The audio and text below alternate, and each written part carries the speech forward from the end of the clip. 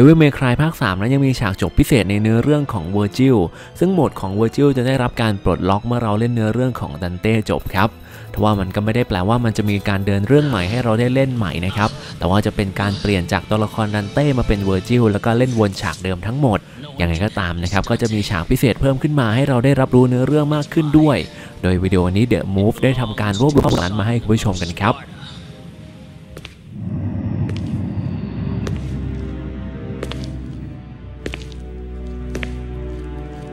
So, you're looking for the Book of Ancient Legends. เอาละฉากพิเศษจะมีด้วยกัน 2 ฉากก็คือฉากเปิดเรื่อง คือถ้าเราเลือกเล่นเวอร์จิลก็จะมีเนื้อเรื่องช่วงนี้ขึ้นมา That's not what I'm looking for. เรื่องราวจะกล่าวถึงการพบกันครั้งแรกของอาคัมและก็เวอร์จิลที่กำลังอยู่ในห้องสมุด ที่รวบรวมตำนานและก็พิธีกรรมต่างๆ เอาไว้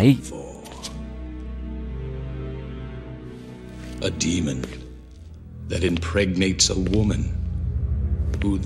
ชายผู้คลั่งไคล้ในพลังปีศาจนั้นหว่านล้อมบุตรแห่งสปาร์ดาให้ยอมรับในตัวของเขา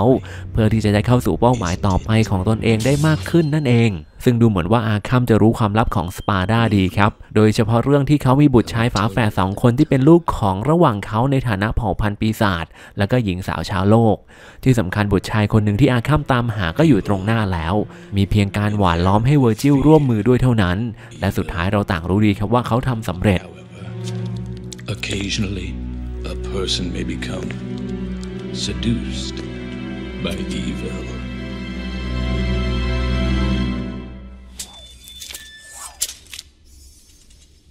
What are you getting at? Share with me the story of Sparta.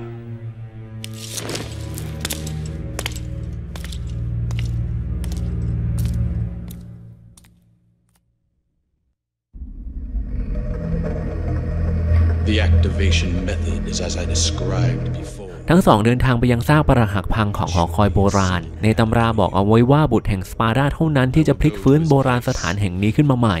และมันจะเป็นเงื่อนไขสำคัญในการเปิดประตูสู่ Underworld ในทางกลับกันชิ้นส่วนอีกชิ้นจะเป็นหน้าที่ของอาคัมที่จะต้องตามหามาให้ได้ครับ ซึ่งมันก็คือสร้อยอัญมณีอีกชิ้นที่อยู่กับดันเต้นั่นเอง ทั้งสองแยกกันทำงานโดยจากนั้นจะเป็นเวอร์จิลที่เปิดฉากเข้าปะทะกับเหล่าปีศาจที่อารักขาหอคอยโบราณแห่งนี้เอาไว้ ทว่าเขาจะฝ่าไปด้วยพลังการต่อสู้รูปแบบไหนลองรับชมกันดูเลยครับ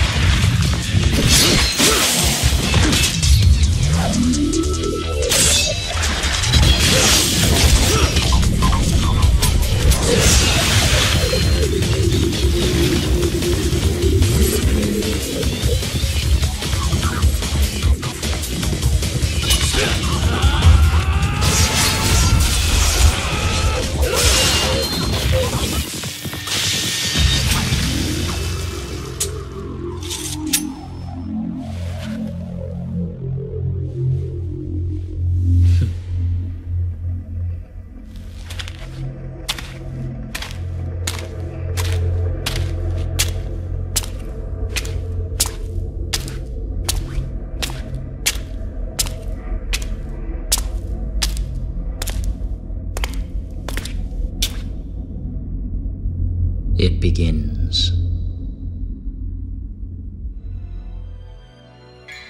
เอาละฉากพิเศษในตอนเริ่มต้นก็จะประมาณนี้ ต่อไปจะเป็นอีกฉากหนึ่งที่จะเล่าในตอนจบ ซึ่งเรื่องราวจะต่อเนื่องกับฉากจบของดันเต้ ที่เขาจะเดินทางกลับไปยังโลกมนุษย์แล้วก็เปิดร้าน Devil May Cry ต่อไปครับทว่าเวอร์จิลนั้นมีชะตากรรมที่แตกต่าง นั่นก็เพราะว่าทางเลือกของเขาคือการไม่ยอมรับความช่วยเหลือใด ๆ จากน้องชาย และตนเองจะยอมอยู่ในดินแดนที่เป็นมาตุภูมิของผู้เป็นบิดา นั่นก็คืออันเดอร์เวิลด์ต่อไป ทว่าจะมีอะไรรอเขาอยู่ลองรับชมกันได้เลยครับ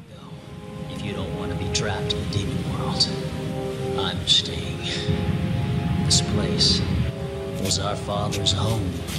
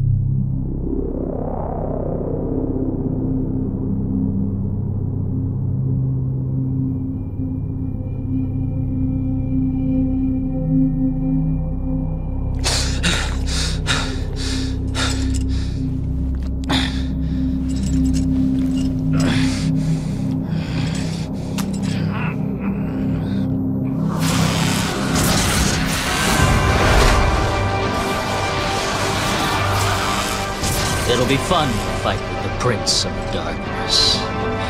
If my father did it, I should be able to do it too.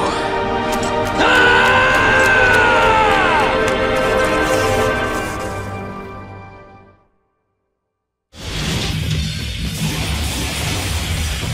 สิ่งที่เวอร์จิลได้เจอก็คือ Prince of Darkness หรือว่าองค์ชายปีศาจ และเขายังบอกอีกว่าถ้าพ่อของเขาจัดการกับหมอนี่ได้ เขาก็ต้องทำได้เช่นกัน ฉะนั้นดวงตาสีแดงเหล่านั้นก็คือมุนดัสนั่นเอง และเนื้อเรื่องก็จะไปต่อกับภาคแรกที่มีการเล่าถึงเวอร์จิลด้วย ซึ่งผมทำเนื้อเรื่องเอาไว้ให้แล้วนะครับ ยังไงคุณผู้ชมลองกดย้อนกลับไปดูนะเอาละครับเนื้อหาสำหรับฉากพิเศษก็คงจะประมาณนี้ ถามทิ้งท้ายไว้หน่อยแล้วกันเอาขำๆนะครับว่า ระหว่างดันเต้และเวอร์จิลคุณผู้ชมชอบตัวละครไหนมากกว่ากันคอมเมนต์ไว้นะครับ สุดท้ายวิดีโอนี้ผมลาไปก่อน พบกันใหม่ตอนหน้า สวัสดีครับ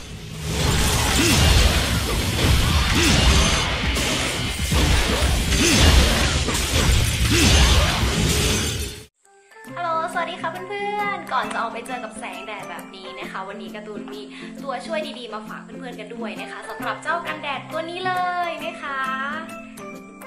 ระยานั่นเองค่ะเพื่อนๆ ไม่พูดมากแล้วแหละ เดี๋ยวเราไปลองทาแล้วก็ลองใช้พร้อมกันเลย ระยา UV Escape Whitening Sunscreen SPF 50 PA บวกบวกบวกสีคุณสมบัติ กันแดด บำรุง คุมมัน กันน้ำ กันเหงื่อ ด้วยคุณสมบัติของสารสกัดจากแพลงต้นใต้ทะเลลึกช่วยป้องกันรังสี UVA UVB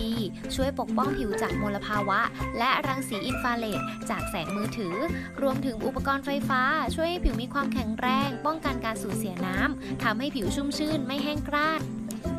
และนอกจากนี้ยังช่วยปรับสภาพผิวให้ดูเรียบเนียน ช่วยลดริ้วรอยจุดด่างดำและผดผื่นหรือตุ่มเล็ก ลดการระคายเคือง หรือรอยแดงที่เกิดจากการแพ้ ลดความมัน ลดการเกิดสิวไม่อุดตัน เหมาะสำหรับผิวแพ้ง่ายค่ะ